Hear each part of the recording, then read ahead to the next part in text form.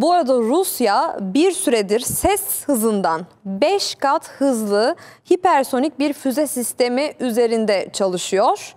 Gizliydi bu. Nasıl öğrendik? Gizli bilgiler sızdı çünkü. Sistemi geliştiren Rus şirketin müdürü hedefte.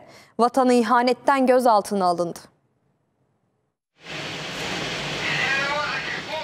Rusya dünyada ses hızından 5 kat daha hızlı hipersonik füze sistemi üzerinde uzun zamandır çalışıyor. Rusya bu alanda rakibi ülkeleri geride bıraktı. Ama şu sıralar hipersonik sistemin ülke dışına sızdırıldığı iddiaları ülkeyi karıştırdı.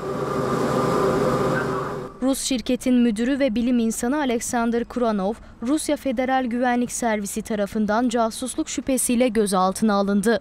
73 yaşındaki bilim insanı Kuranov, vatana ihanet suçlamasıyla hakim karşısına çıktı. Kuranov'un 9 Ekim'e kadar tutuklu kalacağı açıklandı. Kuranov, yürüttüğü çalışmalar hakkında yabancı ülke vatandaşlarına gizli bilgiler vermekle suçlanıyor. Dosyaya gizlilik kararı getirildi. Rusya Devlet Başkanı Vladimir Putin, ülkesinin hipersonik teknoloji alanında lider konumunda olduğunu sık sık dile getiriyordu. Öte yandan Rus yetkililer, batılı istihbarat örgütlerini bu yeni teknolojilerle ilgili casusluk çabalarını artırmakla suçluyor.